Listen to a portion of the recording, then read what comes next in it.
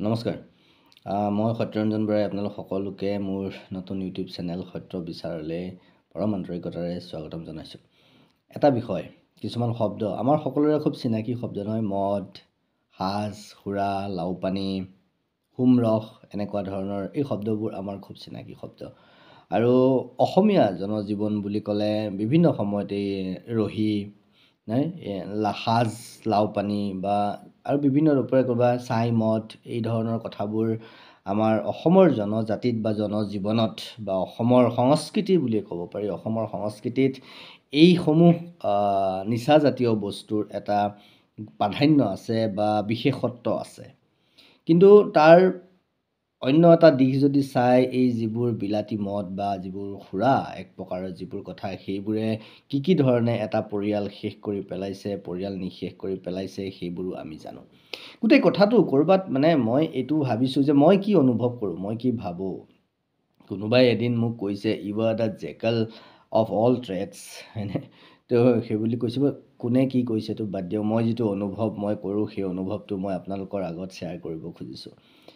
আজিৰ তাৰিখত এটা বস্তু আমি দেখা পাইছোঁ। মদ খাই সুৰা বুলিয়ে খায় ৰহি বুলি খায় সাজ বুলি খায় ছাই মদ বনাই খায় বিভিন্ন প্ৰক্ৰিয়াৰে মদ বনাই বিয়েৰ বনাই বিভিন্ন ধৰণৰ বস্তুবোৰ বনাই ৰহি খোৱাৰ অভ্যাস মোৰো আছিলে। মানে অভ্যাস মানে ৰহি খাইতো ময়ো পাইছোঁ।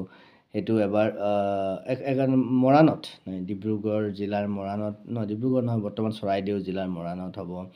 তাত ৰহি খাই ময়ো পাইছোঁ। আহোম আহোমৰ আহোমৰ ঘৰ আহোম পৰিয়াল তেওঁলোক তেওঁলোকে মানে অতিথি আপ্যায়নৰ পিছত যদি ৰহি নিদিয়ে তেতিয়াহ'লে ক'ৰবাত আধৰুৱা হৈ আৰু সেই ৰহি খাই কাঁহৰ বাতিত দিছিলে একদম হালধীয়া হালধীয়া খুব ধুনীয়া লাগিছিলে। প্ৰথমে তেওঁলোক অস্বস্তি ফিল কৰিছিলে কিন্তু তাৰপিছত যেতিয়া তেওঁলোকে অতিথি আপ্যায়ন সম্পূৰ্ণ নহয় বুলি কৈছে মই খাইছোঁ। আৰু তেতিয়া তেওঁ মোক কৈছিলে যে সম্পূৰ্ণৰূপে ঘৰত বনোৱা গোটেইখিনি ঔষধৰ নিচিনাকৈ বনোৱা বিভিন্ন ধৰণৰ এশ কিমান বিধ বুলি তেওঁ মোক কৈছিলে। এশ কিমান বিধ বনৌষধিৰে নিৰ্মাণ কৰিছিলে সেই ৰহি। খুব ভাল আছিলে আৰু সেই নিশা খুব সুন্দৰ টিপ টোপনিও আহিছিলে। তাৰপিছত আৰু এবাৰ ছাই মদ খাইছিলোঁ আপোনাৰ লখিমপুৰত।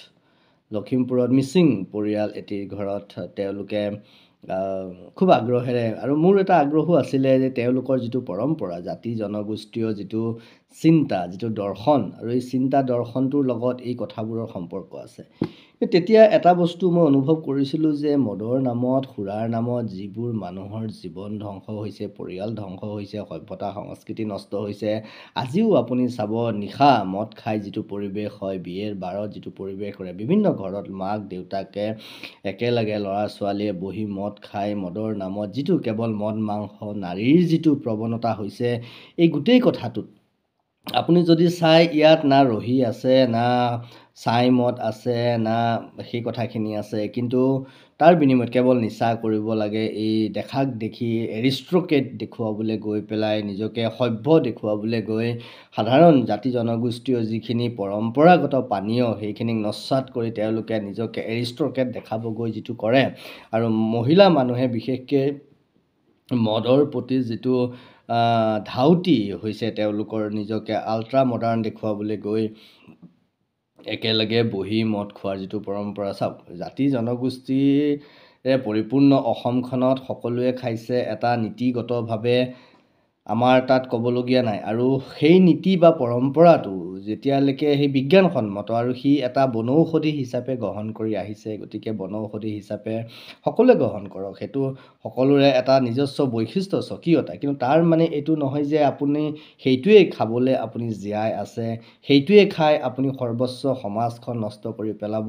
আৰু সেই সেইবিধ বস্তু খোৱাৰ পিছত যদি আপোনাৰ ব্যক্তিত্ব ম্লান হৈছে আপোনাৰ যদি পৰিয়াল নষ্ট হৈছে আপোনাৰ তাৰ লগে লগে যদি আপোনাৰ সমাজখন নষ্ট হৈছে তেতিয়াহ'লে সি কেনেকৈ মেডিচিন হ'ব পাৰে? সি কেনেকৈ পৰম্পৰা বা সি কেনেকৈ আমাৰ সংস্কৃতি সভ্যতাৰ অংশ হ'ব পাৰে?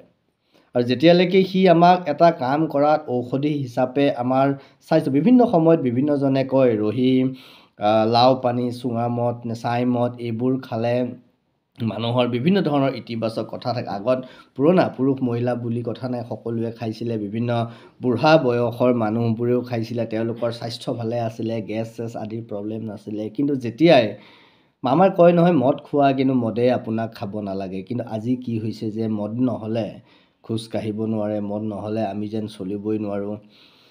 তেনেকুৱা এটা পৰিৱেশ এইটো মদে খাইছে। গোটেই পৰিৱেশবোৰ আমি দেখিছে বিভিন্ন সময়ত যিটো কাৰবাৰ কৰি থকা হৈছে যে ঠিক ঠিক নাৰীৰ ব্যৱসায় বেপাৰৰ পৰা আৰম্ভ কৰি আজি যুৱ প্ৰজন্মৰ যিটো প্ৰৱণতা হৈছে গোটেই প্ৰৱণতাটো।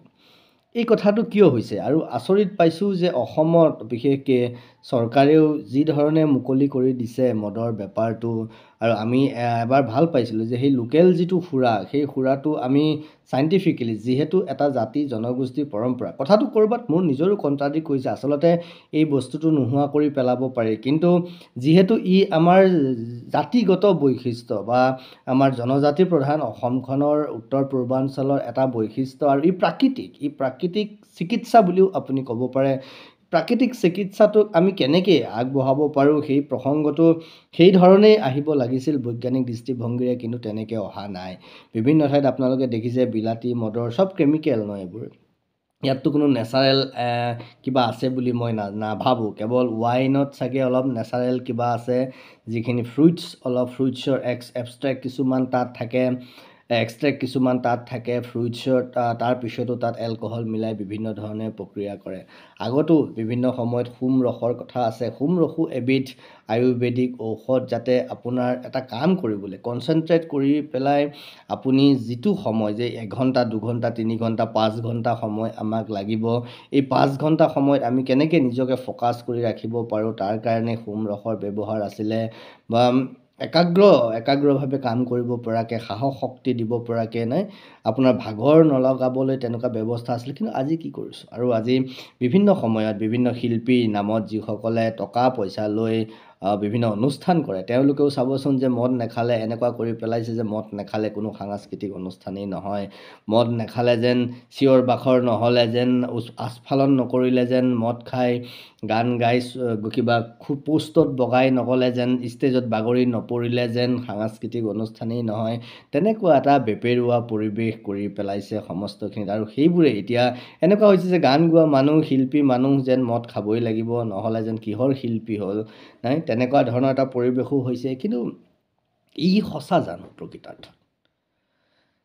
প্ৰকৃতাৰ্থত এইটো আমাৰ শুদ্ধ সমাজ এখনৰ পৰিচায়ক জানো আমাৰ যি জাতি জনগোষ্ঠী যিটো আছে পৰম্পৰা আমাৰ বৃদ্ধসকলৰ পৰা আৰম্ভ কৰি বিভিন্ন জাতি জনগোষ্ঠী দেখা পাইছোঁ জন্ম হোৱাৰ লগে লগে কোনোবাই কৈছে মুখত বোলে ৰহি অকণমান দি দিয়ে। কিয়? সি এজ এ মেডিচিন দিয়ে। আৰু এই কথাটো মই মাজতে দেখাব দেখি শুনাও পাইছোঁ। বোধহয় জোনবিল মেলাৰ সময়ত অসমৰ মুখ্যমন্ত্ৰীয়ে এই বিষয়টোৰ ওপৰত বক্তব্য ৰাখিছে যে ৰাম যদি কোনোবাই খাব পাৰে কিবা আৰু কিবা যদি খাব পাৰে বিলাতী দোকানৰ পৰা তেতিয়াহ'লে লাও পানী খাওক ৰহি খাওক সকলোৱে। তাৰ এটা ব্যৱস্থা লাগিব নহয়। আৰু মুখ্যমন্ত্ৰী হিচাপে এই কথাখিনি ইমান মুকলিকৈ কৈছে। ইয়াৰ ব্যৱস্থা কি? ইয়াৰ প্ৰাসংগিকতা কি? আচলতে মোৰ কথাখিনিও ক'ৰবাত মদক প্ৰমোট কৰি থকাৰ নিচিনা হৈছে। কিন্তু কথাটো হ'ল যে আপোনালোকে যদি খাবই লাগে তেতিয়াহ'লে কি মাত্ৰাত খাব আৰু কেতিয়া খাব কিয় খাব? আমি সুখতো খাওঁ দুখতো খাওঁ লগ পালেও খাওঁ অকলশৰীয়া হ'লেও খাওঁ। মানে আমাক খোৱা নাই আমিহে খাইছোঁ। আৰু খোৱাৰ পিছত আমি ক'বই নোৱাৰোঁ কিমান কথা পাইছোঁ ক'ত আছোঁ স্থান কাল পাত্ৰ সকলো পাহৰি যাওঁ। পাৰিলে নোখোৱাকৈ থাকিলে ভাল আৰু যদি খাবলগীয়া হয় তেতিয়াহ'লে আপুনি সেইটো মাত্ৰাত খাব লাগিব যিটো মাত্ৰাত আপুনি কাম কৰাত সাহস শক্তি পায় কাম কৰাত আগুৱাই যাব পাৰে। গতিকে মই অসমৰ মুখ্যমন্ত্ৰীয়ে সেইদিনা যিটো কথা কৈছে যে ৰহি খাওক কিবা খাওক তেতিয়া সেই ব্যৱস্থাটো পদ্ধতিগতভাৱে একাডেমিকেলি কি আছে তাত চাইণ্টিফিকেলি কি কথা আছে সেই কথাখিনিও আপোনালোকে তাত আলোচনা কৰিলে ভাল। আৰু যিহেতু আমাৰ এটা জাতিগত বৈশিষ্ট্য বুলি কৈছোঁ জাতিগত বৈশিষ্ট্যটো স্বকীয়তা চিন্তাটো আমি কেনেকৈ ব্ৰেণ্ডিং কৰি প্ৰমোট কৰিব পাৰোঁ ইয়াত কেনেকৈ সেই বাহিৰৰ সুৰা সম্ৰাট বুলি যিবোৰ কৈছে এতিয়াতো অসম চৰকাৰখনত কেইবাজনো সুৰা বেপাৰীৰ লগত বিলাতী সুৰাৰ লগত মানে কেমিকেল খুওৱা মানুহৰ লগত। আৰু তেওঁলোকেতো ইতিমধ্যে ইতিমধ্যে ঘৰে ঘৰে সুৰা যোগান ধৰাৰ কিবা কথাও মাজতে কৈছিলে নে? অনলাইন ডেলিভাৰী মদ যোগান ধৰিব। আমি আচলতে কোনখন সমাজৰ কাৰণে আমি ভাবিছোঁ কোনখন সমাজক লৈ যাব খুজিছোঁ? মাজতে শুনিলোঁ নলবাৰীত আটাইতকৈ বেছি মদৰ দোকানৰ ঠিক ঠিক লাইচেঞ্চ দিছে বোলে। যদি এয়াই হয় তেতিয়াহ'লে গোটেই কথাবোৰ কিবা কণ্ট্ৰাডিক্ট সমাজখনক যে নষ্ট কৰিবলৈ খুজিছোঁ আৰু সেই মদৰ কাৰণেই আমাৰ বিভিন্ন পৰিয়াল বিভিন্ন সমাজ নষ্ট হৈ গ'ল। তাৰপিছতো আমি তাক প্ৰমোট কৰি থাকিব খুজিছোঁ। কাৰণ আমি মাত্ৰাটো নিৰ্ধাৰণ কৰিব পৰা নাই ক'ৰবাত এডুকেশ্যনটো যিধৰণে আমি দিব লাগিছিল দিব পৰা নাই বা আমাৰ যিখিনি স্বাস্থ্যসন্মত পৰম্পৰাগত যিখিনি নিচা জাতীয় পানীয় আছিলে সেইখিনিক আমি সেই ধৰণে আমি ব্যাখ্যা কৰি আগুৱাই দিব পৰা নাই। যদি আগুৱাই দিব পাৰিলোঁহেঁতেন হয়তো তেতিয়া পানীয় হিচাপে ভাত খাওঁ গাখীৰ খাওঁ আমি মাছ মাংস ঘৰত এনেকৈ খাওঁ।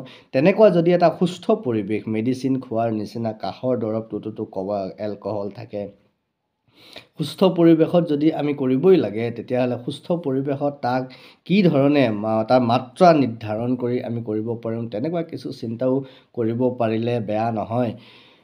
গতিকে নষ্ট হোৱাতকৈ সমাজখনক নষ্ট নোহোৱাকৈ ৰাখিবলৈ হ'লে আমি তাৰ মাত্ৰাটো নিৰ্ধাৰণ কৰি দিব পাৰিব লাগিব আৰু এই বিলাতী বস্তু যিবোৰ কেৱল কেমিকেলেই আছে সমস্তখিনিত গতিকে সেইখিনি নোহোৱা কৰি বা যিসকলে খাব কাৰণ আজিতো আৰু মই নাখাব বুলি ক'লেই নাখাব দিয়ক মানে নোখোৱা হৈতো নাযায়। এইটো সমাজৰ সকলোৰে ভিতৰত মানে সকলোৰে জীৱনৰ অবিচ্ছেদ্য অংগ হৈ পৰিছে। গতিকে এইটোহে কম মাত্ৰা এটা নিৰ্ধাৰণ কৰক সকলোৱে আৰু এই বস্তুবোৰ ছাই মদ বা ৰহি বা যি সাজ পানী আছে সেইখিনি যিখিনি চাইণ্টিফিক আছে কথা বতৰা সেইখিনি বিভিন্ন বন ঔষধি প্ৰস্তুত কৰি পেলাই যিখিনি প্ৰস্তুত কৰা হয় যদি আপোনালোকে খাবই লাগে সেইখিনিৰ ওপৰত খোৱা বোৱাৰ চিন্তা কৰক সেইখিনিৰ ওপৰত ব্যৱস্থা কৰক। বাকী এই অবাবত খালি আৰু তাৰ নামত মদ খোৱাৰ নামত মদ খাই যিটো নিজৰ ব্যক্তিত্ব নষ্ট কৰাৰ যিটো কথা সেইটো নকৰিব। নিজক নিয়ন্ত্ৰণ কৰক নিয়ন্ত্ৰণৰ মাজত ৰাখি সকলোখিনি কৰক। কথাটো ক'ৰবাত মোৰো কওঁতে খেলি মেলি হ'ব পাৰে কাৰণ বিষয়টো কণ্ট্ৰাডিক্টৰী বিষয় আচলতে এই বিষয়টো প্ৰমোট কৰিব লগা বিষয় নহয়। কিন্তু যিহেতু আমাৰ জাতীয় জীৱনত এটা অংশ হৈ আছে এটা বৈশিষ্ট্য হৈ আছে গতিকে সেইটোকে আমাক নষ্ট নকৰাকৈ আমাক শেষ কৰিব নোৱাৰাকৈ আমাৰ চিনাকি হৈ থাকি আমাৰ বৈশিষ্ট্য হৈ থাকি কেনেকৈ আমি তাক আগুৱাই নিব পাৰোঁ কেনেকৈ সমাজখনক শুদ্ধ কৰিব পাৰোঁ সেইটোৰ কাৰণেই যে কেৱল আমি জীয়াই থকা নাই সি আমাৰ অংশহে এটা সি যে সৰ্বোপৰি নহয় সেই বিষয়টো আমি প্ৰতিষ্ঠা কৰিব পাৰিলে ভাল। গতিকে এই ধৰণৰ ওপৰত কথা আৰু পাৰিলে এই বিলাতী মদৰ এই লাইচেঞ্চ দিয়া কাৰবাৰবোৰ বন্ধ কৰিব লাগে সকলোখিনি যিমানখিনি পাৰি। বাকী সকলোৰে নিজৰ নিজৰ কথা নিজৰ নিজৰভাৱে চিন্তা কৰিব নহয় জানো?